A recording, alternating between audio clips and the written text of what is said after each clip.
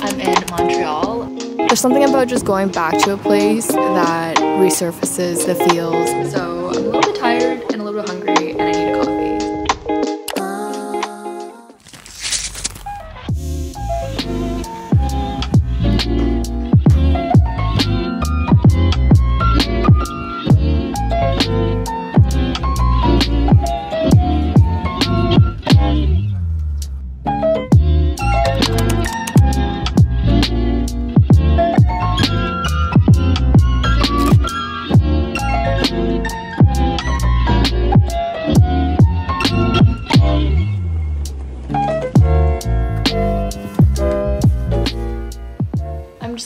get myself together. I don't really know what the plan is for this afternoon, but hi, I'm in Montreal and I'm excited to take you guys along. So I'm actually in Montreal for work and I just got in as you guys saw. So I'm getting myself kind of settled and everything. But today is currently Monday and I'm gonna be here until Thursday morning is when I leave. I'm currently in sweats, which let me just talk about this for a second. Every time that I'm on a plane, I swear that 90% of people assume that I'm a student and I've been asked by people that try to make conversation with me if I'm going to school, like what school I go to, what I'm studying, and I mean, I take it as a compliment because there's definitely gonna be a point in time when I don't look like I'm the age of a student, but I definitely still kind of give that vibe, especially when I'm in sweats. We have a dinner with everyone tonight, and obviously I'm not gonna be wearing this. I think I'll probably just get changed so that I'm ready and then whenever I head out, I'll be ready to go. I feel like my face is so gross from being on the plane.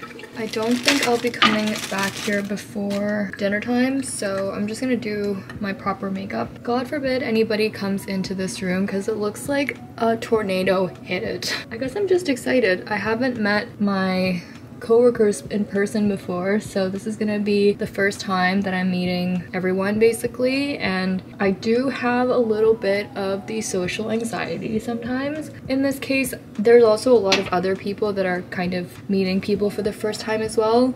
Not everyone obviously but like I know that when I started there were a group of others that were new so that kind of brings me comfort to know that I'm not like the only brand new person. I'm actually not that sure about my shirt choice, but we're gonna go with it. So the last time I was in Montreal was actually with my boyfriend and we came here, uh, I think three summers ago. It was still when there was lockdown intermittently so we came when there was some restriction lifts because I remember we were on the patio but that was already a few years ago. And then before that the very first time that I've ever come to Montreal I actually came by myself. And I was thinking about this as I was on the way here because it's been a while since I came and then I remember the very first time that I arrived. It was in 2019 I had just moved to Toronto for a few months and I'd never been here obviously so I was like I'd love to just try to explore new places and it's not too far away like it's a bit of a drive or a bit of a train ride it's like six hours I think for the train but it's only an hour flight which is what I took today but I just remember taking the train by myself and I remember getting here. At that point, I think the only place that I could find to stay in was like renting this room in like a house that was a shared space. So that was a whole adventure. It wasn't bad, but it's just pretty crazy to see like how different the circumstances are. Feeling very very grateful and appreciative of the fact that I'm here. Wow, I look so different with a little bit of makeup on. I feel like I should probably just not wear this shirt, but I don't know what else to wear. You know what? I'm gonna commit to this because I packed it and I said that I was gonna wear it. So we're gonna wear it. Not me not blending my bronzer ever. Okay.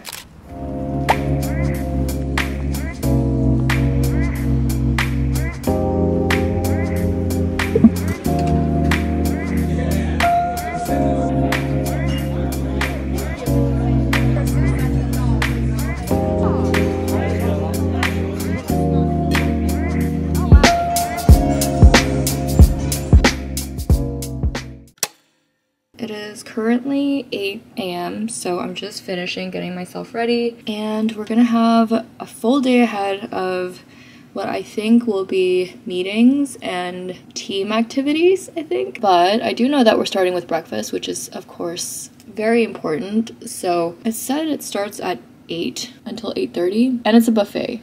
So I'm guessing as long as I show up like in the next five minutes, I'm good. I had the best sleep. There's nothing like being in a hotel and having a full bed to yourself. Last night, before I headed to dinner, I actually did come back. I don't know if I said I was going to, but I came back and I was trying to just do a quick little touch up on my face. I got foundation all over the ground Bruh. and the ground is black, right? It's like black tiles, so it looked like a crime scene and I was trying to clean it. Then I realized I didn't even bring makeup remover. So there was like smears of foundation all over the ground. It's kind of clean now because then I ended up getting some remover from one of my coworkers. But as a result of that, everything was like all over the room. It still is. So I don't think I'm gonna get anyone in here to clean it because I just am too embarrassed. Does anyone else feel that way? When I'm at a hotel, I know the whole point is that they'll come and clean for you, but if I haven't left it in a decent state. I just don't feel comfortable having anyone else in here. So yeah, I need to get makeup remover. I'll probably go to the store at some point today. Also, I feel like my entire face and skin are so dry. I'd say the climate is pretty similar to Toronto, but maybe just because I've been dehydrated, I've been really feeling it.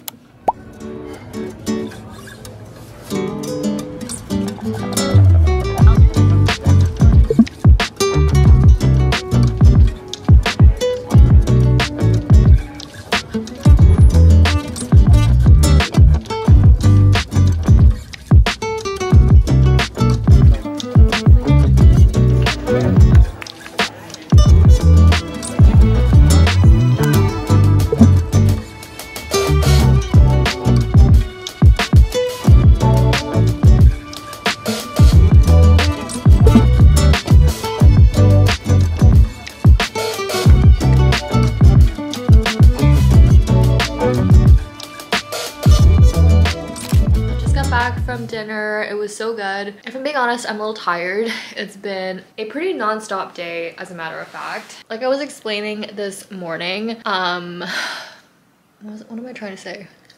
We had a team activity, ended up at a very retro bowling alley to say the least. Like I don't really know how else to explain it. It was like being in a time machine. I feel like that was probably the highlight of my day because of how surprised we were at the state of that bowling alley. But it was the sweetest old man that was working there as well, so it was very endearing. But yeah, overall I had a really good day. It is about 8 45, which is actually an early night. A couple of my coworkers and I got some dinner and bubble tea. My hair is looking a little bit rough to be honest, but I'm gonna make good use out of that waterfall shower and I think I might treat myself to some reading in bed before I sleep. All right, time for a shower.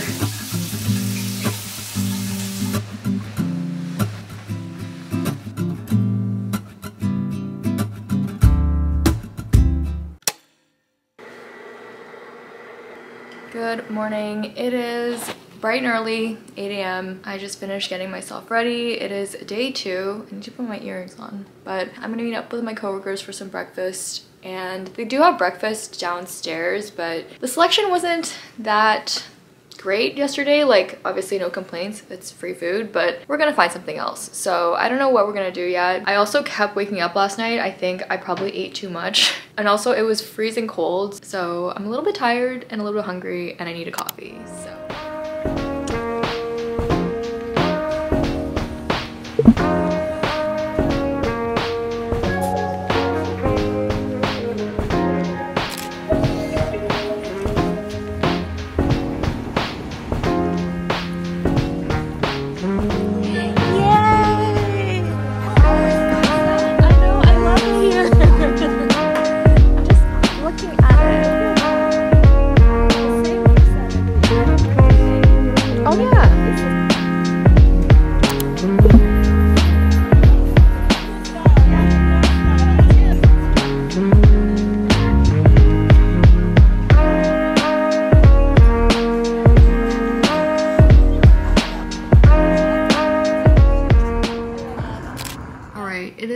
Of the last full day here and like I predicted it was quite the day indeed. I'm also trying to talk as normally as I can with my retainer in because The last time I vlogged and I had my retainer in, I just could not get over the pronunciation. So I'm trying my best but it is pretty late. It's actually way past my bedtime, 11.30, oh my god. My flight back to Toronto is leaving the airport at 10.40. It's a domestic flight as well, so that's probably not gonna be too bad. I am, in fact, in case you're wondering, wearing a Toronto Leafs shirt. I don't know why, but I only really wear Toronto stuff when I'm not in Toronto.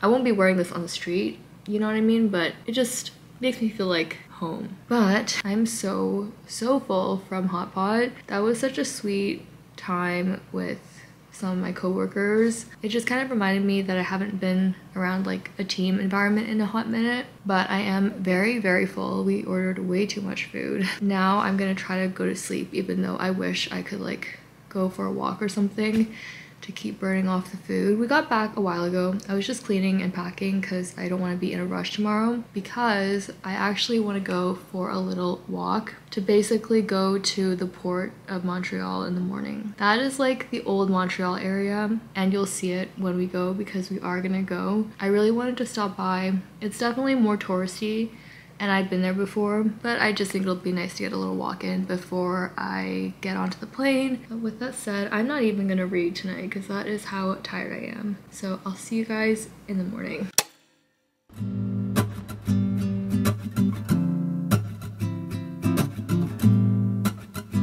It to basically the old port of Montreal. So in this area, all the buildings are pretty historical. They have like this really European style to them, which looks different from most places that you would see in Canada. And I don't really have anything to do here because everything is closed. I don't think I mentioned, but it's 7 a.m. right now. So I decided to wake up and walk here because I really wanted to stop by and there was no other time during this whole trip obviously. My flight leaves at 10:40 five or something like that. You'd think that since I got this microphone, I'd actually properly use it for, you know, being further away. This is not a travel guide, but in the times that I've been here, it's pretty walkable for the most part if you are downtown. There's like the actual port by the water that I want to go down to, but I don't really know if I have that much time because it took me longer than I thought it would to walk down here. But what I was trying to say was I kind of feel like a bit of nostalgia overall because when I first moved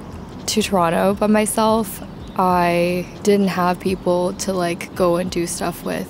So I really wanted to travel, and this was the first place that I went by myself since I moved here. And I just can't believe how much things have changed. Oh my god, ew, why am I getting emotional? And to think that like I'm here now after so much stuff has happened. Ew, ew, ew, ew, ew. I don't even know what type of tears these are because this has never happened in a video for me, but just how much things have changed overall. And you might be like, well, duh, like life happens. You're kind of speaking the obvious. And that's true, you know, obviously life does happen. But there's something about just going back to a place that resurfaces the feels and makes you think of like how far things have come and I definitely acknowledge there's a lot of things that I've been able to do because of the support from other people and the privileges that I have. But at the same time, I do feel like I've worked hard for the life that I've created for myself. And thinking about my first trip visiting here is just a reminder of how, how far things have come. So, yeah, I don't know. That was weirdly emo of me, but hey. Anyways, I'm so glad I got to take you guys along for this. I'm gonna have to head back in like a few minutes after. I don't think we're gonna get down to the water, but that's okay. Or maybe we will, I don't know. Stay tuned and find out.